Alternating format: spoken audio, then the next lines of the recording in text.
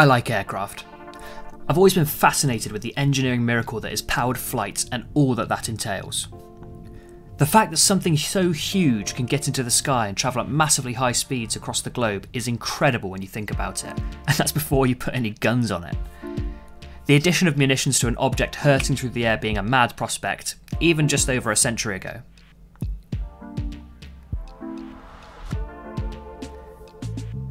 These days, of course, combat air is a fairly common concept. I mean, everybody has watched Top Gun.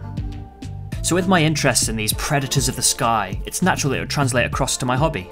The most obvious parallel to the world of the 41st millennium is that of Aeronautica Imperialis, the airborne skirmish system from Games Workshop. I have a small Imperial force made up from my favourite aircraft from the lore Lightnings, Vultures, Vendettas, and of course, Valkyries.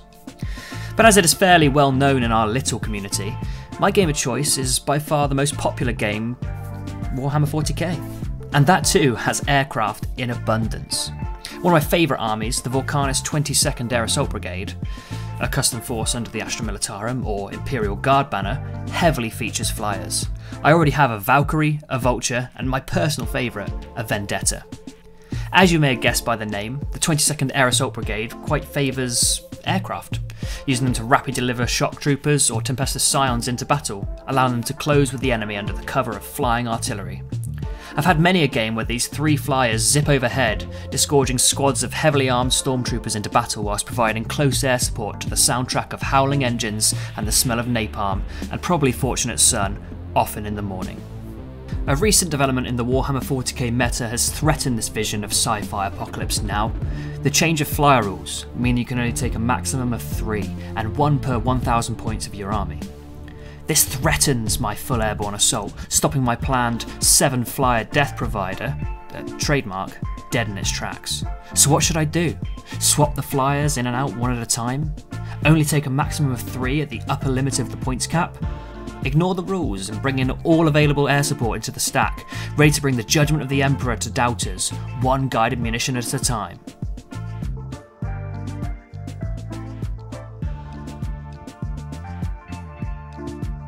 Yeah. So today we're starting with the first of several flyers I intend to add to the Air Assault Brigade, an Imperial Navy Lightning Strike Fighter, specifically the Voss-Pattern one. As I build, let's have a look at what it can do and what it's meant for. It's worth mentioning that I did all the standard resin cleanup, washing and such beforehand. Now rules. Firstly, it moves like basically every other flyer and doesn't have a hover mode. It's toughness 6 with 14 wounds and a standard minus 1 to hit, so we need some dedicated targeting to take it out. It has two standard las cannons for anti armour, and for an extra 20 points, you can take a Lightning Hellstrike rack, which is essentially two 72 inch melter shots that are always d6 plus 2 damage. It does degrade, on its lowest bracket only hitting on 6s, but it's only 150 points to bring along fully kitted out. Is it the best fighter in the world? No. Is it fun? Yes. Does it look cool? Hell yes. Look at this thing. It's the angriest fighter bomber I've ever seen.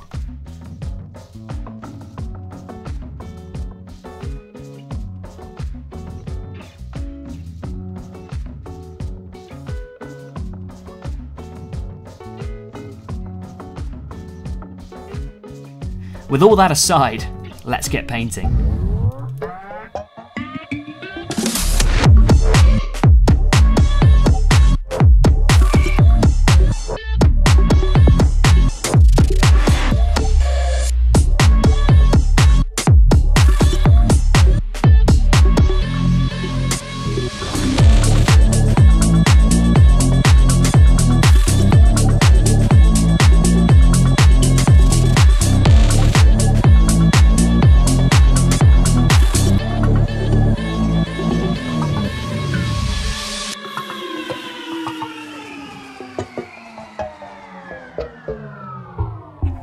Decided to whip out the airbrush for this project.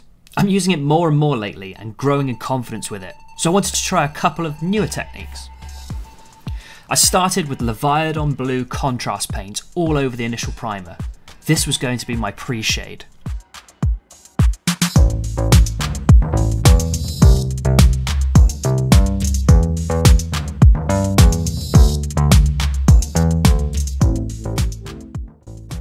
Once that was dry, I started with a mid-tone of Kantor Blue. I mixed this up with some thinner and focused it on the bigger panels, avoiding the gaps between armour plates and any significant recesses.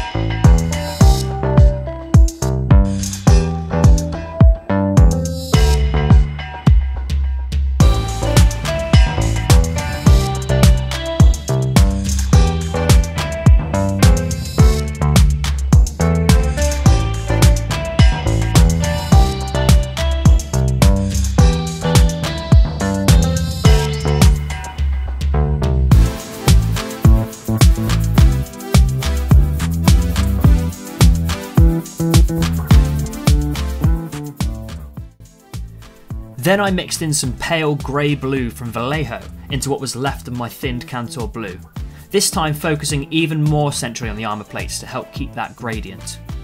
Why did I use Vallejo here? Because it's a dropper bottle. So much more user friendly for an airbrush. Plus, this paint replaced my Celestra Grey, which decided to dry out on me for no good reason.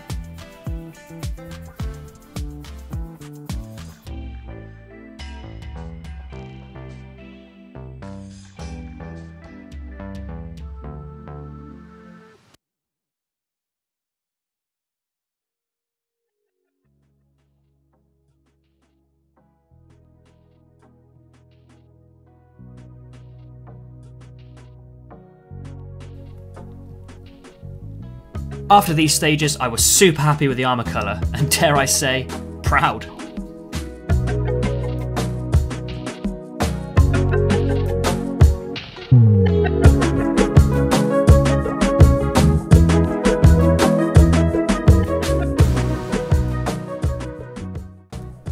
I then started blocking in the black areas, of which there were many. The las cannons, cockpit glass, hellstrike racks, and various cables.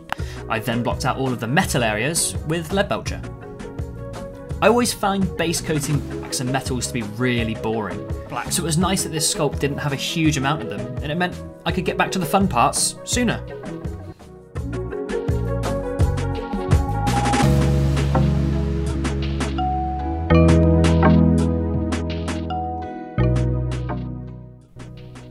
Stopped here to have a look at the Lightning's little brothers and sisters, the teeny tiny, ever so cute Aeronautica Imperialis equivalents. I painted lots of patterns on the wings, differing from aircraft to aircraft, and the missile tips were different colours based on the role. Red for Hellstrike, air to ground, and yellow for Skystrike. Fairly obvious what they're for.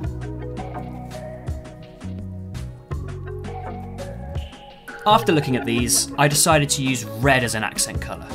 I quite liked the yellow Vs on my Vendettas, both big and small. They're the same aircraft, how cute is that? I decided for red Vs on the Lightning and prepared to start masking up. I gave a quick spritz of matte varnish first, just to make sure I didn't peel off all those thin airbrush coats. I have this tiny masking tape I think I got from Hobbycraft, and it was perfect for this task. I was able to make both sides match fairly well using individual rivets and the features to help line up the tape. After this, I painted a few thin coats of Khorne red between the lines.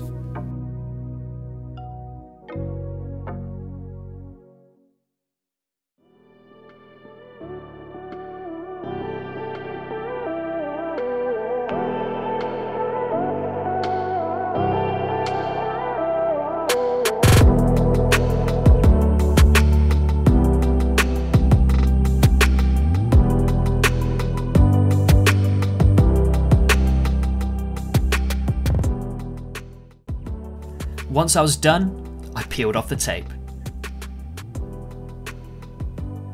So satisfying.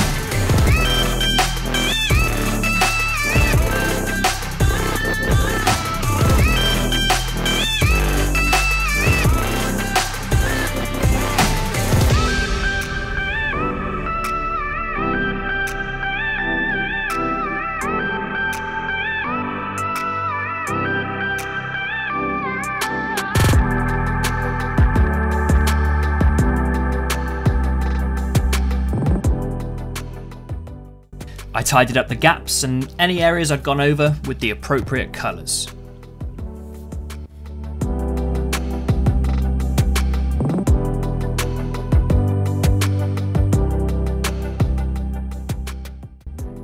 The colours were a little flat compared to the airbrushed armour, so I gently stippled some really thin Mephiston red and then Evil Sunz Scarlet into the V's before glazing back over with Khorne red to tie the colours together.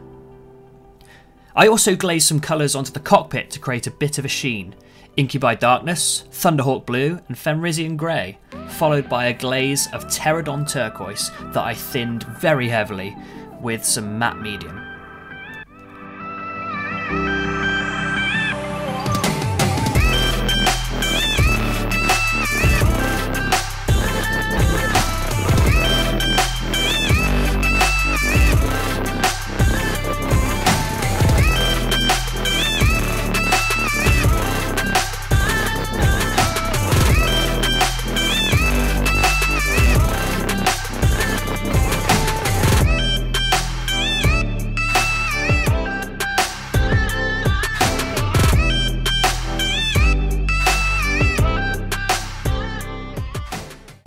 I gave a nice edge highlight of Fenrisian Grey around the sharpest points.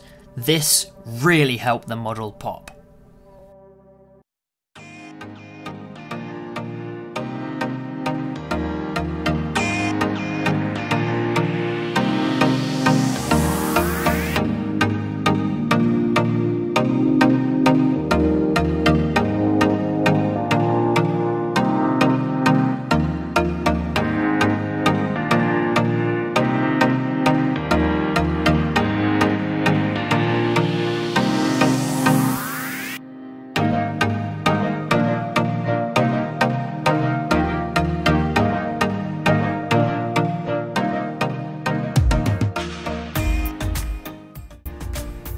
At this point I started jumping around the model, dry brushing some grey here, adding some shade there, nothing out of the ordinary, just to get some of the less visible bits done and looking acceptable.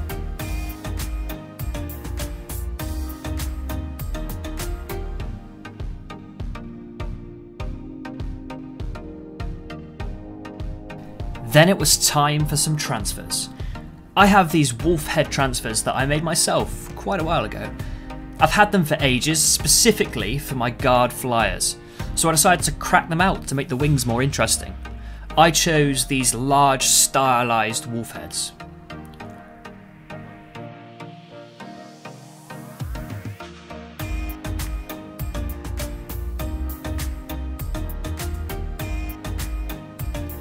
After cutting them out and soaking them in water, I used Micro Sol, Micro Set, and some contrast medium to help them stick to the aircraft and blend in with the flyer. There's a lot of raised detail on the wings, so these tools are essential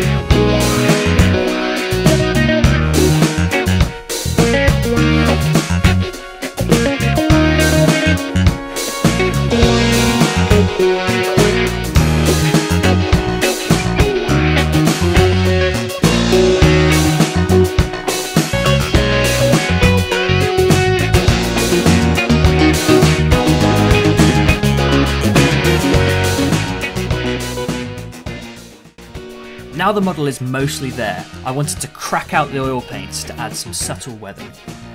Aircraft are naturally dirty, what with flying through all kinds of particulates, alongside being big, oily, greasy machines.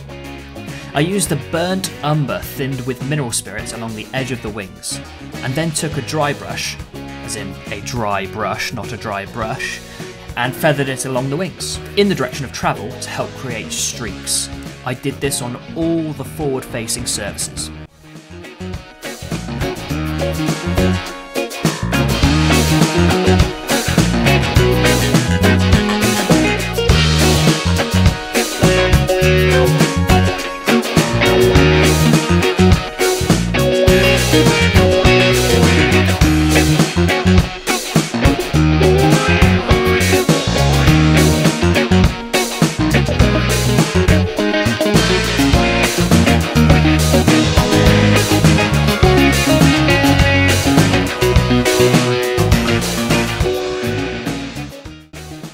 followed this up with a yellow ochre that represented earthy particles getting caught in the recesses of the panels. It also helped differentiate the streaks and make them a little more interesting, rather than just being one colour.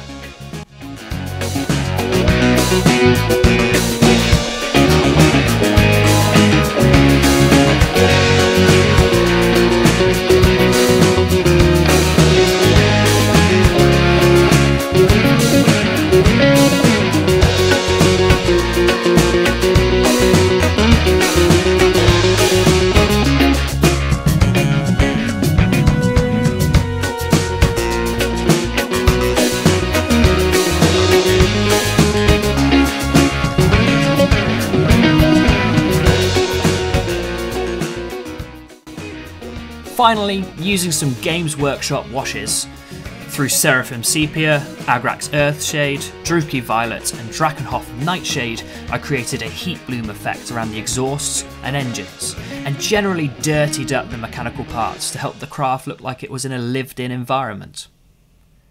This thing's a Warcraft, it's not just come off the shelf. So that's the model complete, and I'm super happy. All that's left is to base up.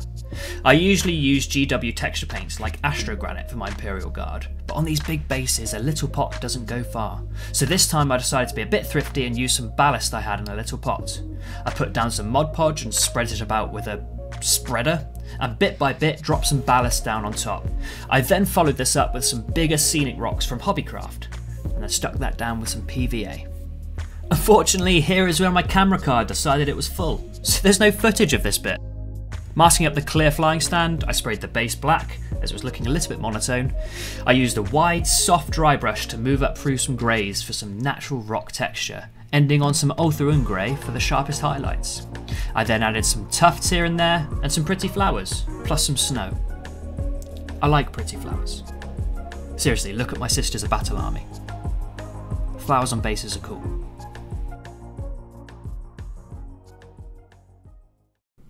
And there we have it. One flyer I definitely cannot use at the same time as the rest, but I will anyway. You know, if my opponent is happy with it. Or whatever.